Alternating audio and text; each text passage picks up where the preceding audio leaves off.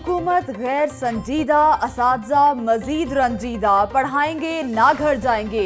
इस डट गए, क्लासेस का मुकम्मल बाइकआउट कर दिया, तदरीसी अमल ठप, तलबा का तालीमी मुस्तबिल दाव पर लग गया। पे प्रोटेक्शन और तरक्की देने का मुतालबा, चेरिंग क्रॉस पर धरना भी सातवें रोज जारी।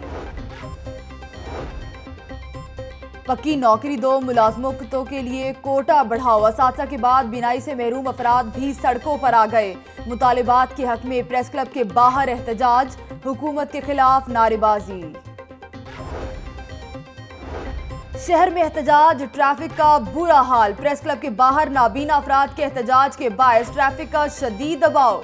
शिमला पहाड़ी और एतराफ की सड़कों पर गाड़ियों की लंबी किदारें चेरिंग क्रॉस पर असाजा का धरना मॉल रोड की जानब जाने वाले रास्तों पर भी गुजरना मुहाल वार्डन की इजाफी नफरी तैनात।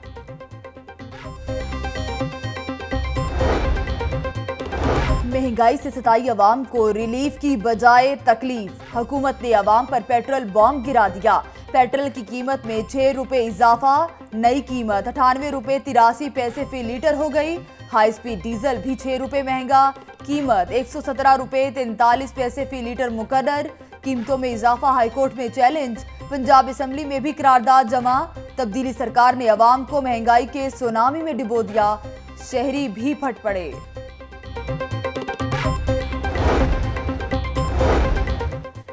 सब्जियों की कीमतों में कमी, महज दिखावा। सरकारी लिस्टों में कमी, मंडियों में ऊँचे दाम।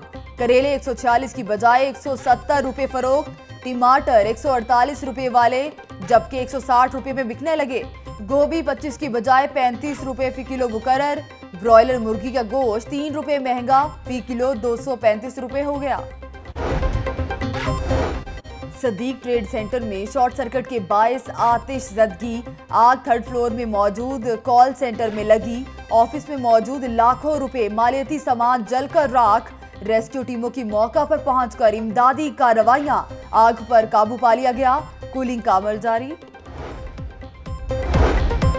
और वज़ीर अला पंजाब के वालिद इंतकाल कर गए। सरदार फतेह मोहम्मद बुजदार दिल के आर्जा में मुबतला थे।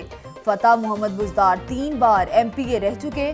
मरहूम की नमाज़ जनाजा आबाई इलाके तौनसा शरीफ में अदा की जाएगी।